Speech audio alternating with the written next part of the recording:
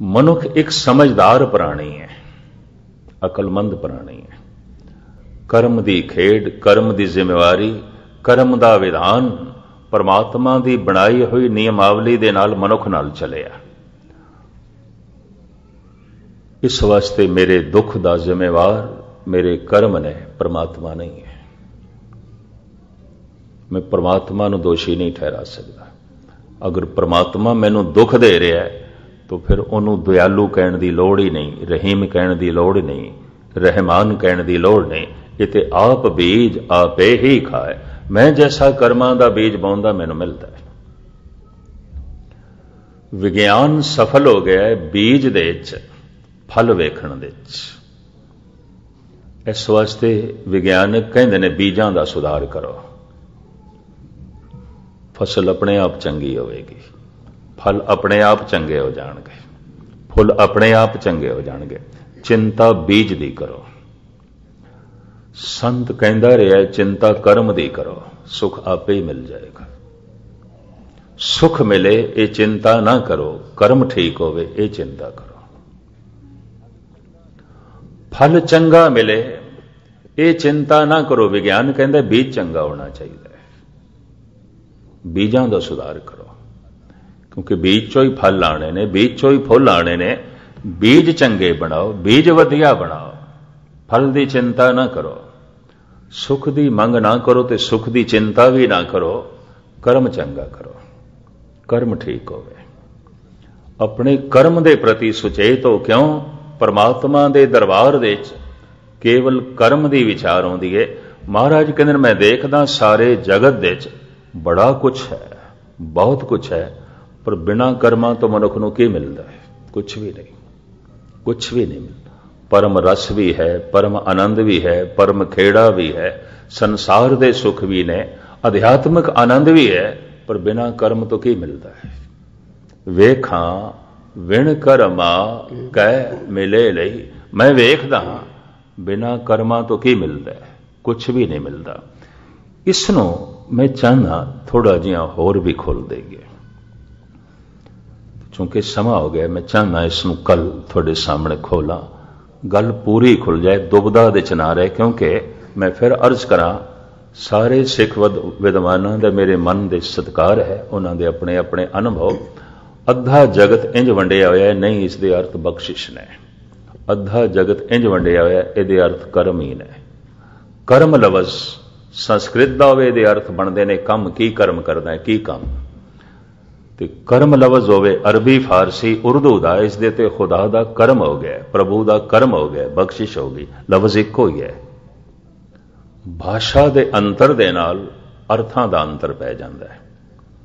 ਕੁਝ ਵਿਦਵਾਨ ਕਹਿੰਦੇ ਨੇ, ਖਾਸ ਕਰਕੇ ਅੱਜ ਦੇ ਮਹਾਨ ਵਿਦਵਾਨ ਪ੍ਰਿੰਸੀਪਲ ਸਾਹਿਬ ਸਿੰਘ, ਇਹ ਕਰਮ ਫਾਰਸੀ ਦਾ ਲਫ਼ਜ਼ ਹੈ, ਸੰਸਕ੍ਰਿਤ ਦਾ ਨਹੀਂ ਹੈ।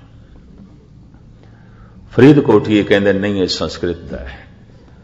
ਤਾਂ ਖੈਰ, ਇਸ ਦੀ ਤਹਿ ਵਿੱਚ ਜੋ ਕੁਝ ਗਹਿਰਾਈ ਹੈ ਥੋੜੀ ਬਹੁਤ ਜੋ ਸਮਝ 'ਚ ਆਈ ਗੁਰੂ ਨੇ ਕਿਰਪਾ ਕੀਤੀ, ਤਾਂ ਮੈਂ ਕੱਲ ਤੁਹਾਡੇ ਸਾਹਮਣੇ ਖੋਲਣ ਦੀ ਨਿਮਾਣੀ ਕੋਸ਼ਿਸ਼ ਕਰਾਂਗੇ, ਫਿਰ ਅਰਥ ਕਰਕੇ ਅਗਲੀਆਂ ਪੌੜੀਆਂ ਤੁਹਾਡੇ ਸਾਹਮਣੇ ਆਰੰਭ ਕਰਾਂਗੇ, ਕਿਉਂਕਿ ਇਹ ਪੌੜੀ ਕੁਛ ਆਪਣੇ ਵਿੱਚ ਐਸਾ ਇੱਕ ਖਾਸ ਭਾਵ ਰੱਖਦੀ ਹੈ, ਕਿਉਂਕਿ ਕਈ ਕਹਿਣ ਲੱਗ ਪੈਂਦੇ ਨੇ, ਸਭ ਕੁਝ ਤੇ ਪ੍ਰਮਾਤਮਾ ਨਹੀਂ ਕਰਨਾ ਜਦੋਂ ਜਪਾਏਗਾ, ਜਪਾਂਗੇ। ਇਸ ਦਾ ਮਤਲਬ ਅਜੇ ਉਹ ਨਹੀਂ ਚਾਹੁੰਦਾ। ਜਦੋਂ ਉਸ ਦੀ ਬਖਸ਼ਿਸ਼ ਹੋਵੇਗੀ, ਉਦੋਂ ਗੁਰਦੁਆਰੇ ਆਵਾਂਗੇ, ਇਹਦਾ ਮਤਲਬ ਅਜੇ ਉਹ ਨਹੀਂ ਚਾਹੁੰਦਾ। ਜਦੋਂ ਉਸ ਦੀ ਰਹਿਮਤ ਹੋਵੇਗੀ, ਅੰਮ੍ਰਿਤ ਛਕਾਂਗੇ, ਇਹਦਾ ਮਤਲਬ ਅਜੇ ਉਹ ਚਾਹੁੰਦਾ ਤੂੰ ਸ਼ਰਾਬ ਵੀ ਪੀਂਦਾ ਰਹੇ।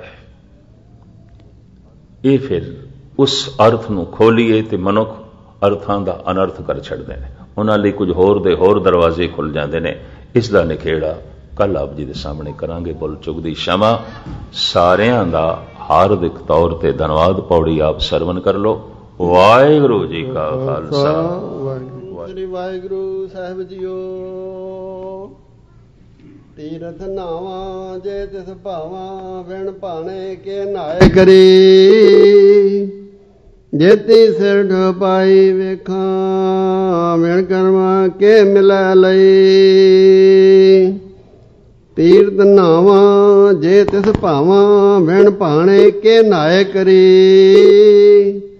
ਜੇਤੀ ਸਿਰਠ ਪਾਈ ਵੇਖਾਂ ਵਿਣ ਕਰਮਾ ਕੇ ਮਿਲੈ ਲਈ।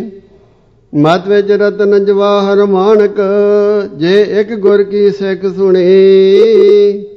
ਗੁਰਾ ਇੱਕ ਦੇ 부ਝਾਈ ਸਭਨਾ ਜੀਆਂ ਕਾ ਇੱਕ ਦਾਤਾ ਸੋ ਮੈਂ ਵਿਸਰ ਨ ਜਾਈ।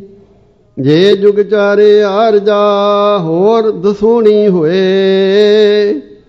ਨਵਾਂ ਖੰਡਾਂ ਵਿੱਚ ਜਾਣੀਆਂ ਨਾਲ ਚਲੇ ਸਭ ਕੋਏ। ਚੰਗਾ ਨਾਉ ਰਖਾਇ ਕੈ, ਜਸ ਕੀਰਤ ਜਗ ਲੇ। ਜੇ ਤੇ ਨਦਰ ਨਾ ਆਵੇ, ਤਾਂ ਬਾਤ ਨਾ ਪੁੱਛਾ ਕੇ। ਕੀਟਾਂ ਅੰਦਰ ਕੀਟ ਕਰ, ਦੋਸ਼ੀ ਦੋਸ਼ ਤਰੇ ਨਾਨਕ ਨਿਰਗੁਣ ਗੁਣ ਕਰੇ, ਗੁਣਵੰਤਿਆਂ ਗੁਣ ਦੇ। ਤਿਹਾ ਕੋਈ ਨਾ ਸੁਝਈ, ਜੇ ਤਿਸ ਗੁਣ ਕੋਏ ਕਰੇ। ਤਿਹਾ ਕੋਈ ਨਾ ਸੁਝਈ, ਜੇ ਤਿਸ ਗੁਣ ਕੋਏ ਕਰੇ। ਵਾਹਿਗੁਰੂ ਜੀ ਕਾ ਖਾਲਸਾ, ਵਾਹਿਗੁਰੂ ਜੀ ਕੀ ਫਤਿਹ। ਸਨਮਾਨਯੋਗ ਗੁਰੂ ਰੂਪ ਸਾਧ ਸੰਗਤ ਜੀਓ ਛੇਵੀਂ ਪੌੜੀ, ਜਿਸ ਦੇ ਚ ਧੰਨ ਗੁਰੂਦੇਵ ਤੀਰਥਾਂ ਦੇ ਸੰਬੰਧ ਵਿੱਚ ਤੇ ਕਰਮ ਦੇ ਸੰਬੰਧ ਵਿੱਚ ਆਪਣੇ ਵਿਚਾਰ ਪ੍ਰਸਤੁਤ ਕਰਦੇ ਨੇ, ਤੀਰਥਾਂ ਦੀ ਮਹਾਨਤਾ ਹਰ ਧਰਮ ਦੇ ਚ ਹਰ ਮਜ਼ਹਬ ਦੇ ਚ ਹੈ। ਸਾਰਾ ਇਸਲਾਮੀ ਜਗਤ ਜਿਤਨੇ ਚਿਰ ਤੱਕ ਹਜ ਨਾ ਕਰ ਲਵੇ ਉਹ ਆਪਣਾ ਮੁਸਲਮਾਨ ਹੋਣਾ ਪੂਰਾ ਨਹੀਂ ਸਮਝਦਾ। ਇਸ ਤਰ੍ਹਾਂ ਹੀ ਹਿੰਦੂ ਨੇ ਕੁੰਭ ਦਾ ਇਸ਼ਨਾਨ ਨਾ ਕਰ ਲੈਣ, ਕੁੰਭੀ ਦਾ ਇਸ਼ਨਾਨ ਨਾ ਕਰ ਲੈਣ ਤੇ ਪ੍ਰਯਾਗਰਾਜ ਦੇ ਚ ਦਾ ਇਸ਼ਨਾਨ ਉਹ ਨਾ ਕਰਨ। ਇਸ ਤੋਂ ਇਲਾਵਾ ਏਕਮ ਥਿਤ ਹੈ ਤੇ ਹੋਰ ਕਈ ਤਰ੍ਹਾਂ ਦੇ ਇਸ਼ਨਾਨ ਨੇ ਇਹ 10 ਪੁਰਬ ਨੇ। ਇਹਨਾਂ ਦਸਾਂ ਪੁਰਬਾਂ ਤੇ ਉਹ 68 ਤੀਰਥਾਂ ਦੇ ਚੋਂ ਕਿਸੇ ਨਾ ਕਿਸੇ ਤੀਰਥ ਤੇ ਇਸ਼ਨਾਨ ਨਾ ਕਰਨ, ਉਹ ਆਪਣਾ ਹਿੰਦੂ ਹੋਣਾ ਸੰਪੂਰਨ ਨਹੀਂ ਸਮਝਦੇ। ਇਸੇ ਤਰੀਕੇ ਨਾਲ ਬਾਕੀਆਂ ਵਿੱਚ ਵੀ ਦੇਖਣ ਨੂੰ ਮਿਲਦਾ ਹੈ। ਸਿੱਖ ਜਗਤ ਦੇ ਵੀ ਆਪਣੇ ਤੀਰਥ ਨੇ। ਧੰਨ ਗੁਰੂ ਅਮਰਦਾਸ ਜੀ ਮਹਾਰਾਜ ਨੇ ਗੋਬਿੰਦਵਾਲ ਸਾਹਿਬ ਦੇ ਵਿੱਚ ਬਾਵਲੀ ਸਾਹਿਬ ਬਣਾ ਕੇ ਤੀਰਥ ਦੀ ਪਰੰਪਰਾ ਨੂੰ ਤੋੜਿਆ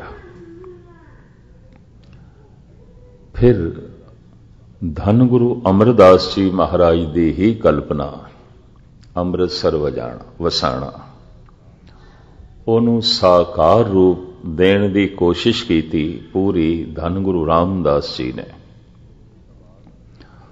ਉਹਨੂੰ ਸਵਾਰਣ ਤੇ ਸ਼ਿੰਗਾਰਣ ਤੇ ਦਰਬਾਰ ਸਾਹਿਬ ਦੀ ਬਣਤਰ ਧੰਨ ਗੁਰੂ ਅਰਜਨ ਦੇਵ ਜੀ ਮਹਾਰਾਜ ਨੇ ਬਣਾਈ। ਉਹਦੀ ਸੇਵਾ ਸੰਭਾਲ ਤੇ ਹਿਫਾਜ਼ਤ ਦੀ ਜ਼ਿੰਮੇਵਾਰੀ ਧੰਨ ਗੁਰੂ ਹਰਗੋਬਿੰਦ ਸਾਹਿਬ ਜੀ ਮਹਾਰਾਜ ਨਿਭਾਉਂਦੇ ਰਹੇ। ਸਿੱਖ ਜਗਤ ਦਾ ਉਹ ਕੇਂਦਰੀ ਅਸਥਾਨ ਬਣਿਆ। ਜਗਤ ਦਾ ਕੇਂਦਰ।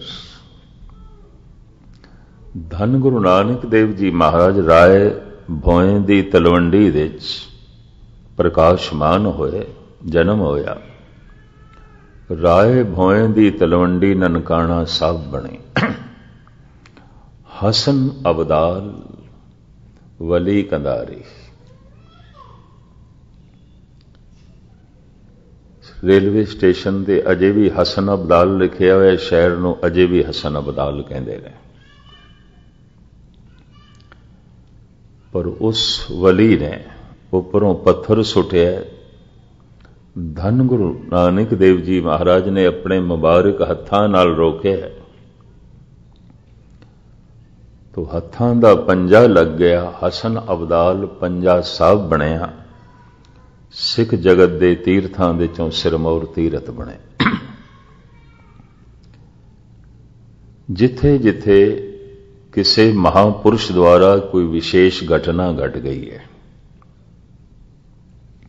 ਜਾਂ ਜਨਮ ਹੋਇਆ ਹੈ ਜਾਂ ਕੁਝ ਹੋਰ ਕਾਰਨ ਨੇ ਉਹ ਜਗ੍ਹਾ ਤੀਰਥ ਕਹਿਲਾਉਂਦੇ ਨੇ ਇਸਲਾਮੀ ਜਗਤ ਦੇ ਵਿੱਚ ਹਿੰਦੂ ਜਗਤ ਦੇ ਵਿੱਚ ਸਿੱਖ ਜਗਤ ਦੇ ਵਿੱਚ ਬੌਧ ਜਗਤ ਦੇ ਵਿੱਚ ਸਾਰੇ ਬੁੱਧਿਸਟ ਲੋਕਾਂ ਦਾ ਕੇਂਦਰੀ ਸਥਾਨ ਗਿਆ ਹੈ ਔਰ ਜਿਤਨੇ ਚਿਰ ਤੱਕ ਗਿਆ ਦੇ ਚ ਬੁੱਧ ਜਯੰਤੀ ਵਾਲੇ ਦਿਨ ਉਹ ਆ ਕੇ ਦਰਸ਼ਨ ਨਾ ਕਰ ਲੈਣ ਆਪਣੀ ਪੂਜਾ ਪਾਠ ਨਾ ਕਰ ਲੈਣ ਉਹ ਆਪਣਾ ਬੁੱਧਿਸਟ ਹੋਣਾ ਪੂਰਾ ਨਹੀਂ ਸਮਝਦੇ।